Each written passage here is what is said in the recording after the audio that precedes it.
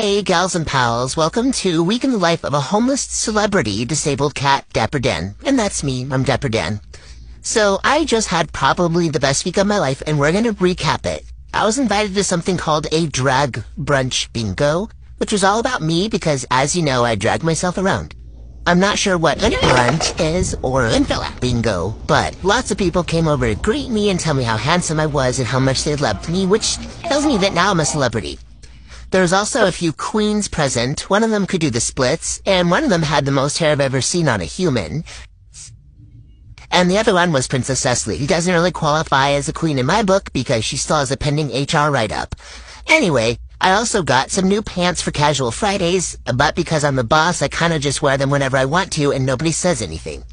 I also got a little jealous this week because Raptor was getting lots of attention and playtime, so I wrote him up and felt a lot better.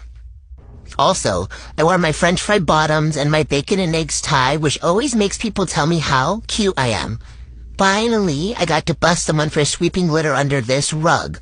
And because nobody would admit who did it, I got to write everybody up, which was a lot of fun, because I love being so good at my job. Anyway, that's my week in a nutshell. I hope you had a good week too. And bye-bye!